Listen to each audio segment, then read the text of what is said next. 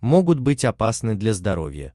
Ученые сделали заявление о картонных стаканчиках. Исследователи выяснили, что бумажные стаканчики могут быть опасны для здоровья человека. Во всем мире продолжается движение в поддержку экологии. В последнее время люди все больше стали использовать бумажные стаканчики, так как считается, что они безопасны для здоровья человека и окружающего мира.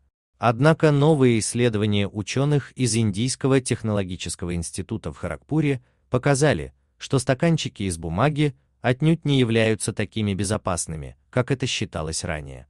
Об этом сообщается в статье журнала Journal of Hazardous Materials. Сотрудники технологического института провели эксперимент и налили ультрачистую воду в бумажные стаканчики. Жидкость находилась в емкостях не менее 15 минут. После этого ученые провели исследование, чтобы оценить уровень загрязнения воды. Оказалось, что в изначально чистой жидкости появились частицы микронного размера в большом количестве.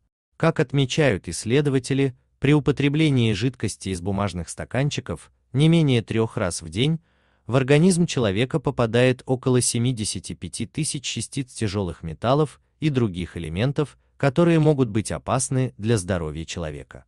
По словам специалистов, стаканчики переносят ионы тяжелых металлов, таких как палладий, хром и кадмий, и некоторые опасные соединения, используемые в гидрофобном покрытии. С помощью ионной хроматографии ученые смогли наблюдать процесс переноса ионов из защитного слоя в воду. Напомним, ранее мы писали о том, что ученые рассказали, какой напиток может сделать вас умнее. А также мы рассказывали о том, что медики назвали необычные полезные качества жевательной резинки.